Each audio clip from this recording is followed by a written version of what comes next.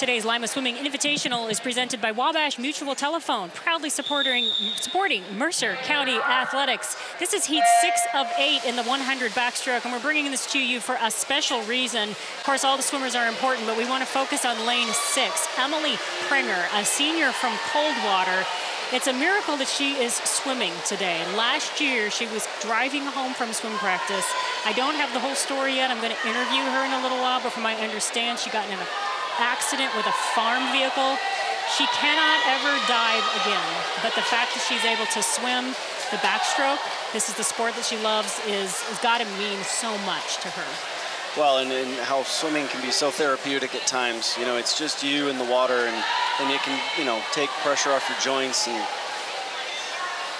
um, I saw on her start she had a modified fly kick. Um, this is speculation, of course, but you know, just really impressive, the young ladies here. Yeah, we certainly don't know um, what it was like before um, for her. Well, if we look back in our history, we probably could, but you know, there's so much more to this sport really than winning, and it's really important to remember that. We love to see the time drops. We get excited about the wins, but uh, for someone like Emily, who had to give up so much of what she loved, yet she is still able to get in the water and do part of what she loves, very, very meaningful. Well, and seeing teammates at the end of the lane, that means more to me as a former coach than much else.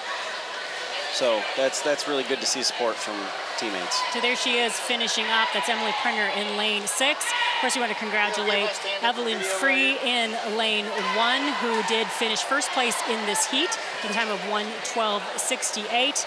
Um, and congratulations to all the girls. But uh, we look forward to hopefully talking with Emily a little bit later so we can hear a little bit more about her story.